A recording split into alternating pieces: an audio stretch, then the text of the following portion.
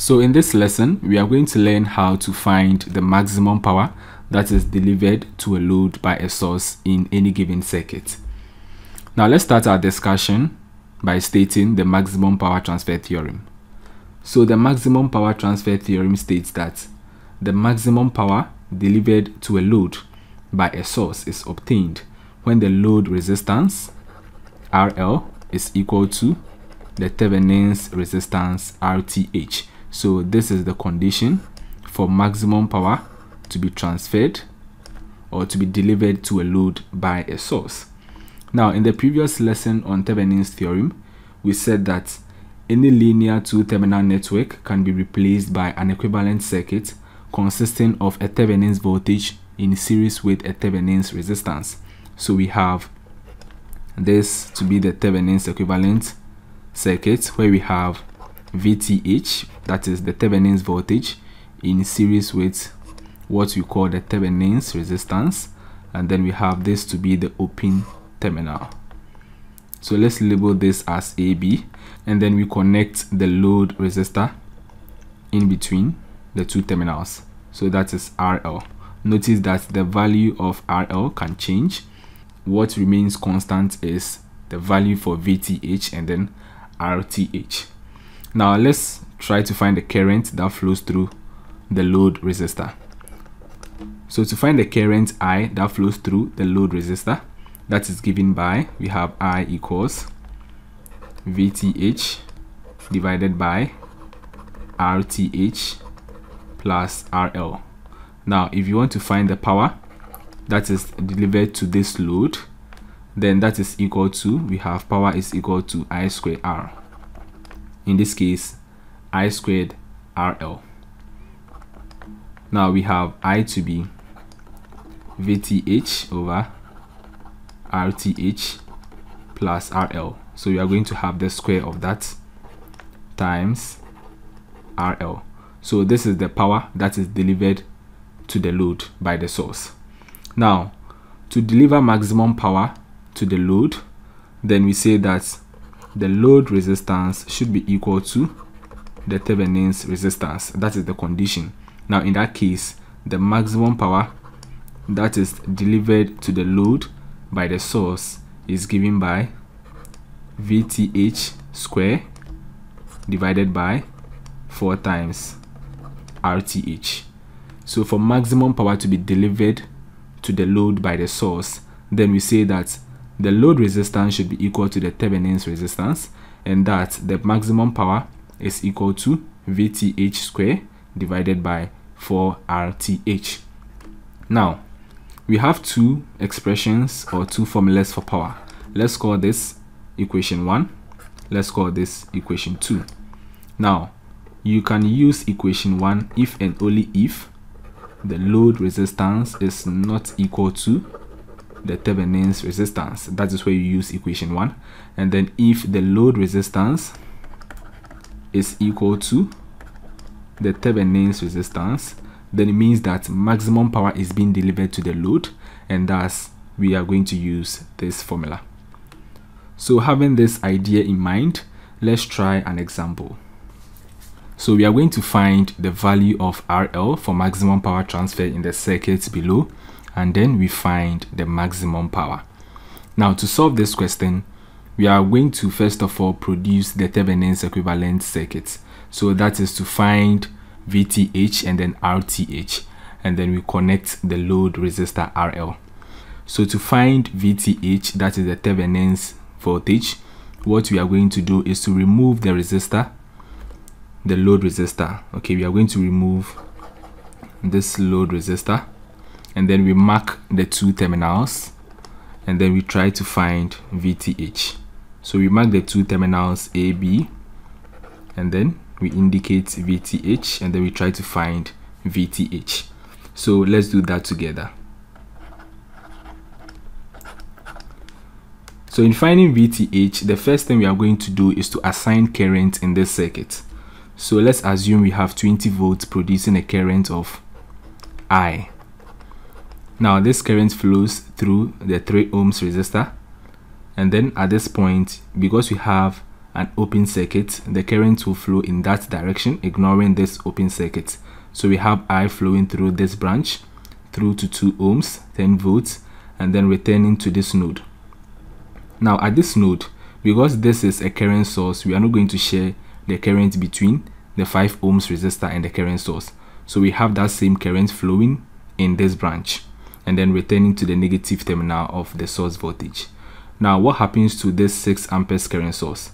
This current source or this current is going to circulate in the loop in this direction in the clockwise direction over and over. So the value of current flowing in this branch is literally going to be I minus 6 amperes. So we have this I flowing in that direction and then because this current is going to be circulating in this loop that is going to be negative 6 due to what? The direction. We have this moving downwards and this is moving upwards. So that is why we have negative 6 and then it is ideal to say that since the 20 volts produce current I then we have current I also returning to the negative terminal of the voltage source if you want to consider the law of conservation of energy. So after distributing current in the circuit, let's try to find the value of I. So to find the value of I, we are going to consider this very loop. Now notice that if you want to apply KVL, you always ignore the loop which contains the current source. So we are not going to consider this loop because it contains the current source we are going to consider this loop now for KVL we know that the sum of the source voltages should be equal to the voltages dropped across the loop. Now notice the polarity. This is taking the clockwise direction. That is also taking the clockwise direction. So the two are in line. So we are going to add them. So we are going to have 20 plus 10 and that is equal to we have current I flowing through 3 ohms.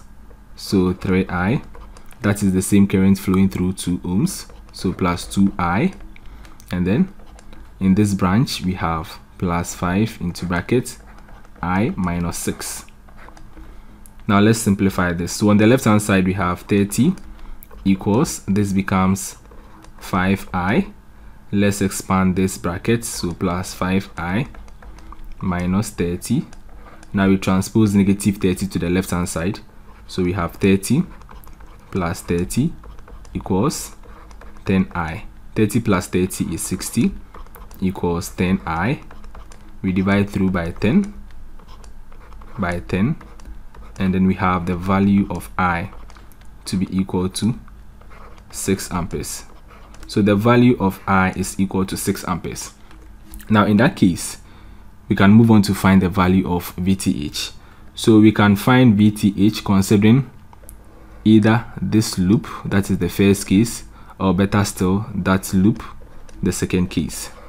So let's do that. So for case 1, let's assume for case 1, if you want to consider this very loop, now we have VTH moving in the, taking the clockwise direction, and then notice that we have 10 volts also taking clockwise direction that is if it produces a current so because they are in line we are going to add them. So that is going to be VTH plus 10 equals taking the clockwise direction we have current I. Notice that the same current I flows through the 2 ohms resistor. So that is equal to 2I now we have I to be 6 amperes.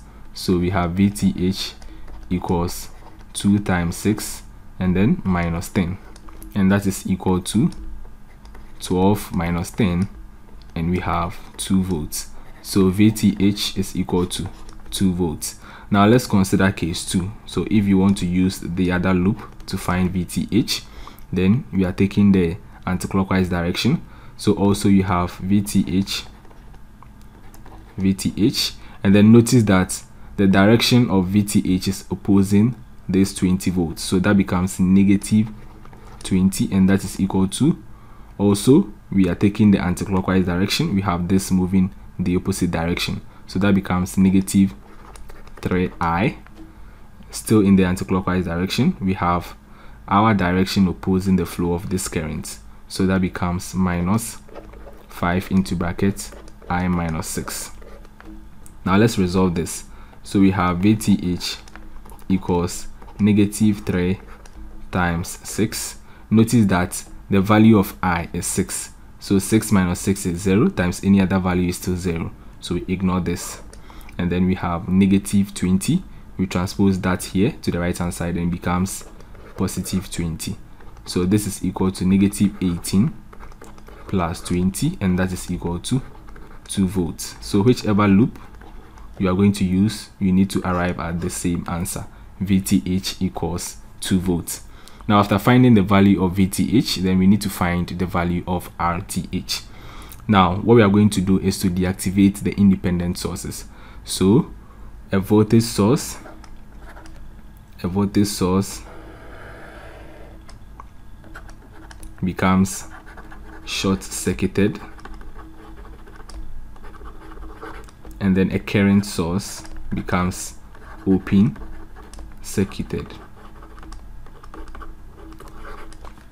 so we are going to redraw the circuit deactivating the independent sources and then we find RTH so we are going to have this short circuit.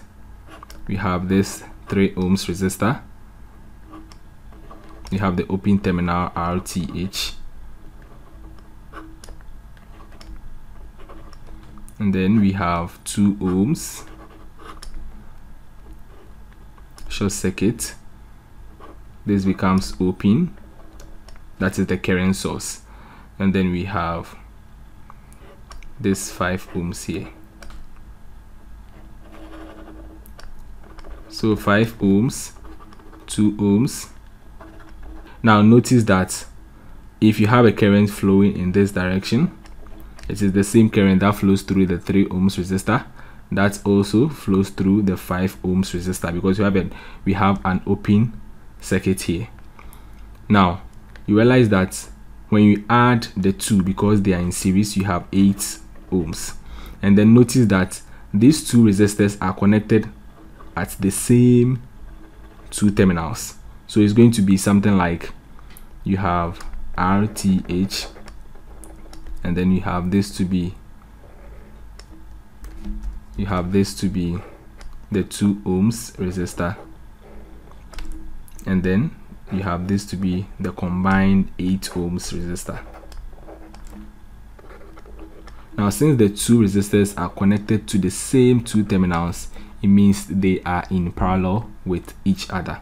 Therefore we have RTH to be equal to 2 parallel 8 which is equal to 2 times 8 over 2 plus 8 2 times 8 is 16 2 plus 8 is 10 and then we have 1.6 ohms. So the value of RTH is equal to 1.6 ohms.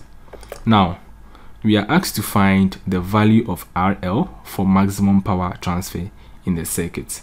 So for maximum power to be transferred to the load, then it means that RL should be equal to RTH. And then we have RTH to be 1.6 ohms. Therefore, RL is also equal to 1.6 ohms. So the value of RL for maximum power transfer in the circuit is RL equals 1.6 ohms. Now we are asked to again find the maximum power. So to find the maximum power, that is giving us P max equals VTH square divided by 4 times RTH now we have VTH to be 2 volts. So we have 2 square over 4 times RTH, that is 1.6 ohms. Now 2 square is 4. 4 times 1.6 is 6.4. Therefore, we have the maximum power delivered to the load by the source to be equal to 0.625 watt. So that's it for today's video. Thanks for watching and see you in my next video. Bye bye